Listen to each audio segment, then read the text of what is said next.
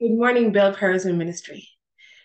Our scripture of emphasis this morning is Seek ye first the kingdom of God, and all these things will be added unto you. Well, what does that really mean? So, our title this morning is It's Time to Make Jesus the center of it all. And if you have never made Jesus the center, it's time to give it a try. What is the center of your life and focus?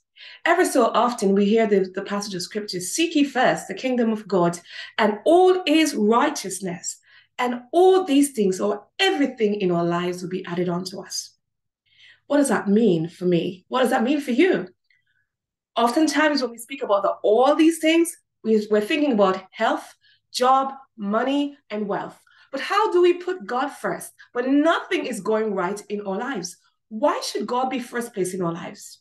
God should be first place in our lives because He's God. That's simple. He's sovereign. Oftentimes we overcomplicate things and we have a wrong theology of what the scripture actually really means. Every time you look at a passage of scripture, as I said yesterday, you need to seek God's understanding and invite the Holy Spirit because Jesus tells us it's the Holy Spirit that guides us into all truth. So, David was my first example of how to really seek God and to put Him first. David wasn't perfect like any of us. And like David, I'm reminded that every time I go astray, every time I mess up, I can come back and confess with a true and clean heart and, and willing heart and ask God to wash me and to create in me a new heart and to renew a right spirit, spirit within me. How did David seek God? Now, when seeking God like David, it makes you uncomfortable and those around you uncomfortable. But I like to seek God. My earliest memory of seeking God was just like that. If we seek God in every choice and decisions we make, we are indeed putting God first and seeking God's permission to take charge of our lives. The more we study the Word of God, the more we pray and seek Him in our decision making, we can be guaranteed that we are becoming more and more like Him and our will is more aligned to Him. We're less unlikely to be led by some other influence in our life because Jesus is the influencing factor. Jesus being the center, it not just mean that Jesus in the center here. Jesus is the center of my life. That means he's the main person. When you talk about center, we're talking about a vital factor. We're talking about is the, the key influencer in our lives.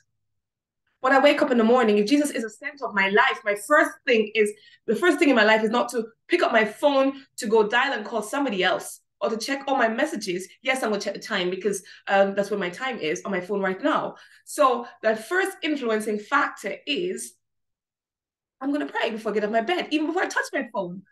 Jesus is, I'm awake this morning, not because my alarm clock went off, because if you put an alarm clock beside a dead person, that person will never move. But when Jesus becomes the center of your life, your first reaction is to go to Jesus you know when you just meet um, people just meet each other and they're in a relationship they want to talk to this person all the time. They want to um for everything they want to run by this person. When jesus is the center of your life and you're in love with jesus that's exactly what you do. Your first inclination is not to go phone a friend or to ask somebody's opinion. Your first inclination is to take it to papa jesus. When jesus becomes the center of your life even when work doesn't work when it hurt like hell but even when you're sick and the doctor's given up on you, even when death is your next option, Jesus still remains the center of your life. Have you ever wondered why the Hebrew boys could say wholeheartedly, O King, O King, we will not be careful in this respect. Because when the things in life conflict with what God says, we're not worried about our joblessness. We're not worried if we die. We're not worried if we lose everything because we've got Jesus. But to get to that limit, Jesus must become the center of your choices right now. It's not the easiest thing to do to say, okay, my first reaction is I'm going to go to Jesus. I'm going to make a stand for Jesus. You can only make a stand for Jesus when Jesus is the center of all you do. When you look at the life of David as a son of David, David was um, running away for his life from Saul. Even when David had Saul in his hand to hurt him, he never hurt him because he recognized that vengeance belonged to the Lord. David recognized that God was the one who set up Saul. So if he touched Saul, then he would be responsible to God. And it's God's job to pull Saul down. So even when he had the opportunity to kill him, he never did. He said, It is God's chosen king. Let God deals with him. When David ran for his life again, And he said, God, if I go up to these people, will they deliver me to Saul? God says, Yes, David. And when we trust God and seek Him first, it does not mean that we are blindly trusting God. As we can see in this example, David asks and inquires of God, and the choice is ours. Here is information, but some of us are too stubborn. We're too set in our own words. We're so happy with where we are that we don't allow the Holy Spirit to bring change into our lives. We don't change or, or we don't consider the other person. We don't change because, oh, this is what I always do. This is who I always am. But if you're always like this, where is the influence and transforming power of the Spirit in our lives? Because when we seek God first, we must be willing to listen to hear Him so we can know what path to take. So David could now make a, a clear decision because he seek God and put Him first. David trusted God's opinion. I trusted my mother's opinion because she's never wrong. My mother has what some people call in Jamaica, they call a goat mouth. If my mom says something, be sure it will happen. To, to distrust my mother's opinion was to be folly and foolish. Like David, and like trusting my mother's opinion, we recognize that God always has it right, even when it doesn't look right from our opinion. Seeking God first and putting Him first means that I surrender everything in my life. The next example I want to quickly look at is Jesus. Jesus was fully human and fully God. If Jesus, who had no sin, seek God first every morning before the day lights out, Jesus was up into the hills praying and seeking God. Jesus surrendered. Jesus went about his job not wimping and and oh did I pray on every single thing because he he consecrated his life first thing in the morning and he seek God first in the morning. We rush into our day's chores and we expect God to be there for us. I have a meeting this morning. And I had to give it to God this morning because I know that when the sin rises up in us, because the enemy is waiting for every situation to make us look bad and to make God look bad. So I'm constantly seeking God to be my mouthpiece. I'm constantly seeking to say, God of vengeance, fight this battle for me. When I'm connected to God and I'm seeking first, when the enemy rises upon me, my first response is not to speak. My first response is to find my computer, stick my headphone in my ear, and start to worship. And the songs, yes, the songs I sing is God, you promised that you will fight for me. You promised to be a tower of strength for me.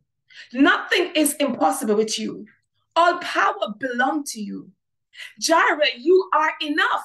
When others have failed you and when the doctor's given you up, I can sing freely, Jireh, you are enough when my work colleagues and everybody's get on top of my nerves, I can say, be still. In the presence of the Lord, I can say, be still. Because God promised that in Exodus 14, verse 14, that if I am still, it is He who will fight for me. Oftentimes we fight for ourselves because we are not seeking God or we're not putting Him first. I'm out of time. I'm going to respect time this morning. I'm going to try to respect time more. But when the Spirit take over, I'm going to let it go if you haven't put God first and you haven't been seeking Him wholeheartedly, the time is now. Heavenly Father, we just want to acknowledge, God, that we haven't put you first. We have put money making, we have put jobs, we have put so many things first than seeking you, Lord. Lord, our lives are so bored. Instead of seeking you wholeheartedly, we spend more time working, more time trying to perfect things in our lives when you are our perfecter of our faith and in our lives. God, if we are too bored, we, use, we need to use the time to bring others into alliance with you. Teach us how to seek you, God. Holy Spirit, this morning we give you full permission in our lives to take control. We ask you to take control of the road this morning, take control of our finances, take control of every choice we make this morning. Father, teach us how to seek you first with all, with our whole heart, and not to lean to our own understanding. Lord, even when the, the way seems broken and uphill and we seem that we're sinking, God, help us to still choose to put you first. Because anywhere with Jesus, we can safely go. Because as a Shunammite woman, Lord, when, when she didn't seek a child, she was confident and content in her situation. And she said to the prophet, when her husband asked her it was well, she said, It is well. She went to the prophet and said, I don't want your servant, I want you. Lord, we don't want anything else. We don't want our jobs. We don't want our finances. We don't want security without you because all of this is fruitless without you. This morning, God, we're saying we want you in our lives. This morning, we're saying, God, we want to start putting you first. If we have never put you first, God, teach us how to make you first in every choice. Remind us, God, when we're making choices that we did not consult you, Lord. Father, we wrestle against flesh, but there's so many things going around. There, there, there, there are demons parading as human in our worlds. And we don't even know because we are lacking discernment. The demons parading in the people that we care about, taking over the lives of our children and our people, our churches, because we lack discernment, Lord. So, Father, fill us with your spirit this morning. Father, I pray, God, you promise in your word that we don't have to worry about anything because you are in charge of us and you have fenced us in and out. So we're surrendering or making ourselves naked before you, Lord. So, Lord, when the Amalekites come before us and when the Abimelechs come before us, Lord, we don't have to worry about the Abimelechs and the Amalekites and the Moabites in our lives. Because it's you, oh God. We don't have to worry about the king of Assyrians in our lives, Lord. We don't have to worry about those because the God of the Lord of hosts army, it is you who fight for us, and we will hold our peace this morning, Lord. So we thank you and we worship you in Jesus' name we pray. Amen. Have a blessed day, everyone. Bless, bless.